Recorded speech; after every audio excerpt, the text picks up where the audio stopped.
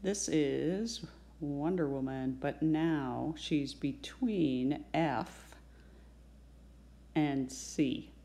Okay, she's somewhere in between. So there's principal axis, C's back here somewhere, back here, and F is here somewhere.